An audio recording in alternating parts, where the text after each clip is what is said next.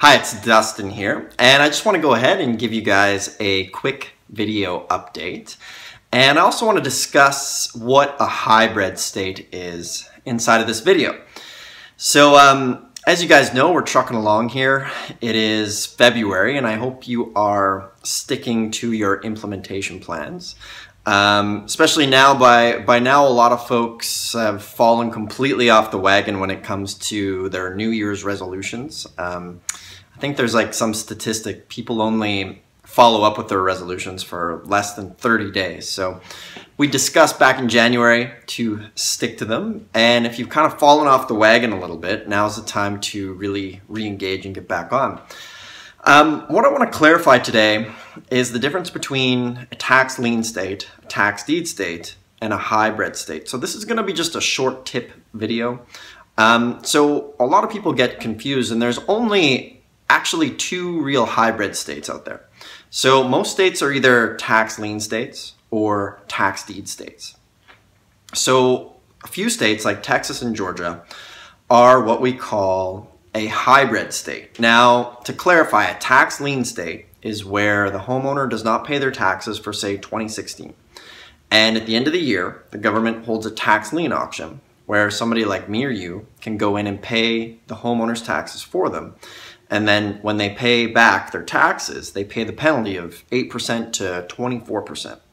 And then if they don't pay you back, that's when you go ahead and you foreclose and you get the house. And that's where a lot of people get massive home runs in this business is because often the tax lien is only a few percent of the market value of the house. So if it's worth a hundred and say the tax lien is a thousand, by the time it's all said and done and you pay out the other taxes that are owed and the foreclosure fee, you'll get that $100,000 house for between three to $5,000 with all the fees. So let's contrast that to a tax deed state. So remember, tax deeds are much simpler. The county has let the taxes go maybe two years, five years, maybe even seven years down the road. And they say, all right, we need our taxes.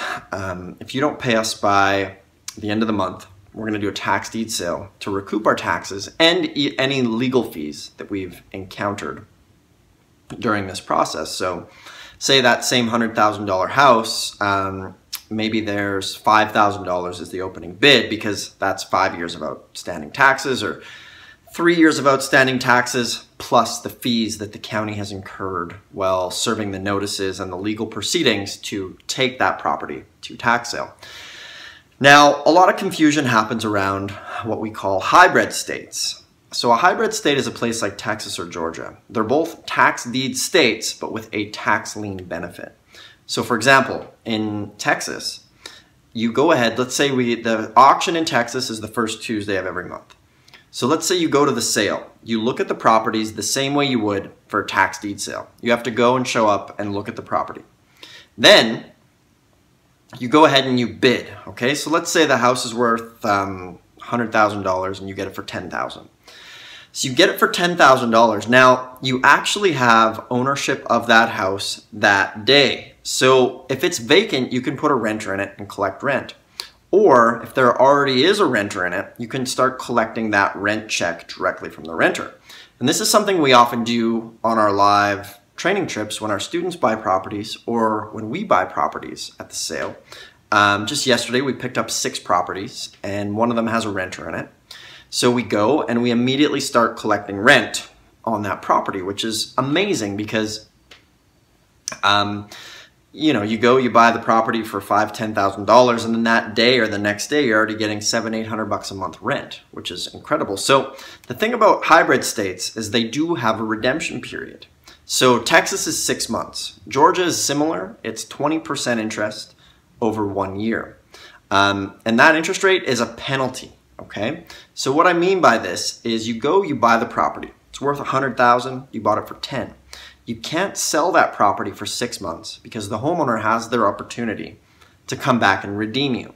So when he redeems you, he has to pay you the price that you paid for the house plus 25% interest on your money.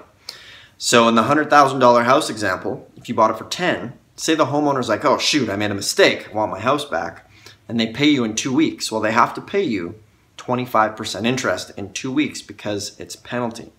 Whereas a lot of tax lien states are accruing. So if it's 18% over the year, that interest accrues. So if you get redeemed at six months, you only get 9% interest.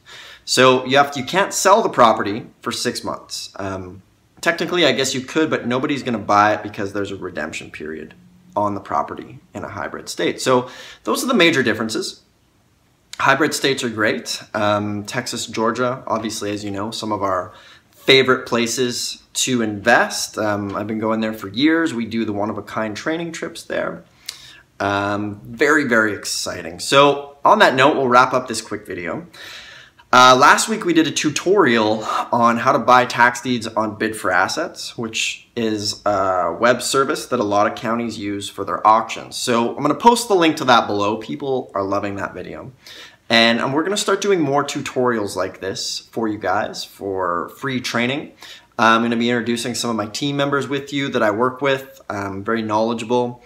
Um, really, really excited about that. In the next video, what I'm going to do is I'm going to show you guys um, how one of our students, who's now a coach, he just purchased an $800,000 property, a gas station and a car wash for only $5,000. It's a massive home run.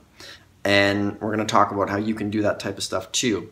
The thing about tax liens and deeds is as long as you stick with it, it's not a question of if it's going to work it does work. Um, some people have work within the first week.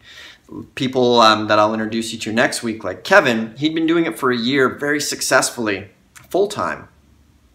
And, um, you know, he just hit one of those home runs. And that happens all the time as long as you stick with this stuff. Um, Kevin got this $800,000 property for $5,000.